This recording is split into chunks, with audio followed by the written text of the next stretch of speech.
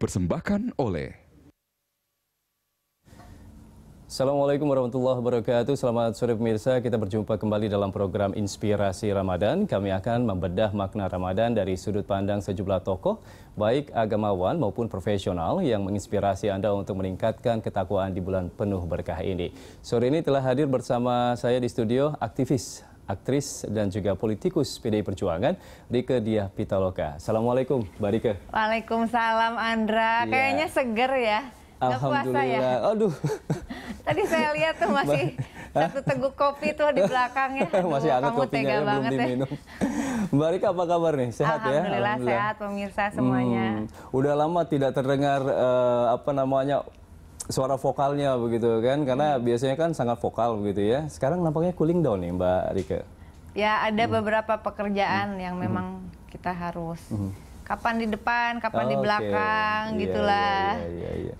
Tapi ngomong-ngomong udah ini ya eh, lolos untuk periode berikutnya di DPR ya? Alhamdulillah hmm, lolos hmm. untuk periode ketiga. Oh ketiga ini ya? Di daerah okay. pemilihan yang juga hmm. cukup berat, hmm. bukan bukan basis partai, hmm. oh, uh, iya. sehingga Jawa butuh ya? butuh effort yang sangat-sangat hmm. berat dan hmm. saya ucapkan terima kasih boleh hmm. dong ya oh, kalian boleh, boleh, ya. buat semua pendukung yang telah yeah, membantu. Yeah. Hmm. Alhamdulillah tanpa nyawer suaranya 169.729. Wih deh, luar biasa karena memang terima tadi kasih disebut, semuanya. Uh, tapi kira-kira apa yang ditawarkan nanti ketika kan sudah dua periode nih ya? Apa sebenarnya yang uh, ditawarkan ke akan akan diperjuangkan kembali di periode yang berikutnya ini? Jadi uh, cita-cita kami adalah hmm. menjadikan Indonesia menjadi hmm. negara industri.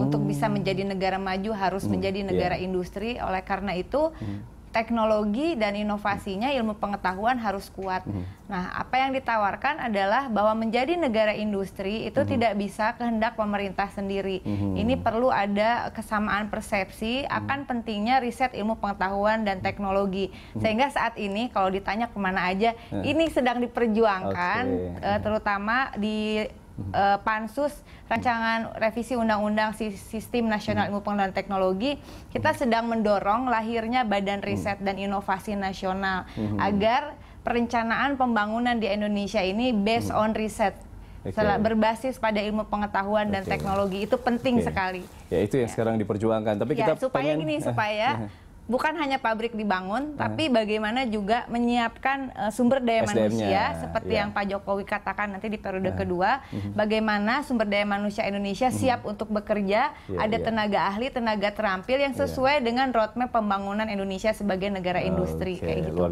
Udah pantas memang lolos untuk periode berikutnya. Amin. Ya. kita kita flashback dulu nih, hmm. kan uh, Mbak Rika ini kan terkenal sebagai uh, aktris ya, bahkan katanya sejak usia 13 tahun sudah tampil-tampil di TV nasional ya. Nah, uh, kemudian beralih ke aktivis, keluar dari zona nyaman begitu. Kenapa sih? Apa alasannya? Uh, bagi hmm. saya politik dan seni itu tidak bisa dipisahkan. Oh begitu. Jadi hmm. seni hmm. yang seni yang baik itu hmm. selalu bisa membangunkan kesadaran orang gitu ya. hmm. ya. Bukan hanya orang menikmatinya, tetapi setelah itu orang hmm. akan berpikir. Artinya seni itu sendiri harus punya pengaruh hmm. positif terhadap uh, masyarakat yang menontonnya hmm. atau menikmatinya.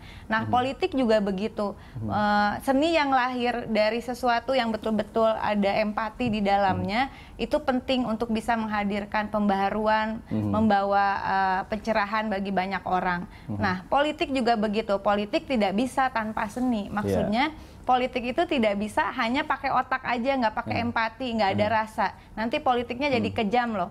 Cuman pengen berkuasa, segala yeah. cara dihalalkan seperti yeah. itu, menyebarkan yeah. fitnah, kebohongan. Yang penting berkuasa itu yang tidak saya uh, bukan prinsip saya dalam nah. berpolitik. Ya, tapi kan begini kan uh, Mbak Rika ini kan sempat uh, booming ketika mem memerankan sosok Oneng, hmm. Oneng yang uh, bisa dikatakan dalam tanda kutip Oon lah begitu yeah. ya.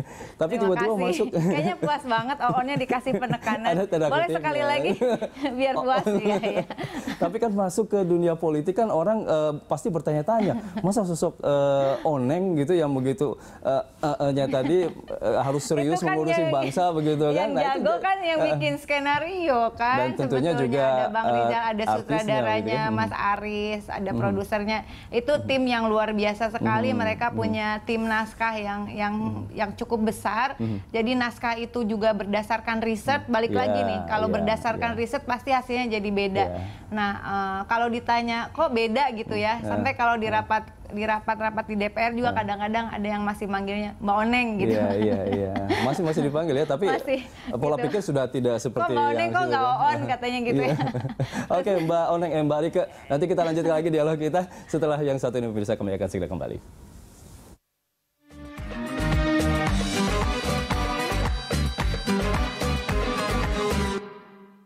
Dipersembahkan oleh